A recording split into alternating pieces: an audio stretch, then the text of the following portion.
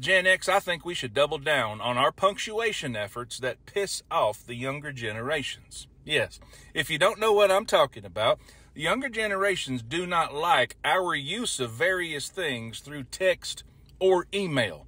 Apparently, if you do this, they don't like it. They think it's a big old FU.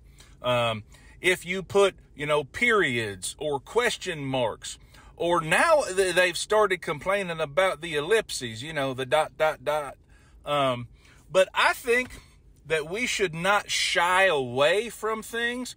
I think we should push them even further and add more things to our punctuation.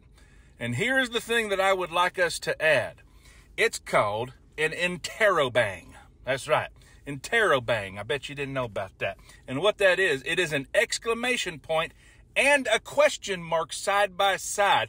And its use is for rhetorical questions with emphasis, such as, Are you really that stupid?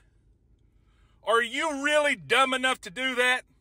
See, at the end of those, if you were to write that, you would put exclamation mark question, okay? And that's an interrobang. Let's start doing that. Let's see how long it takes them to be pissed off about that.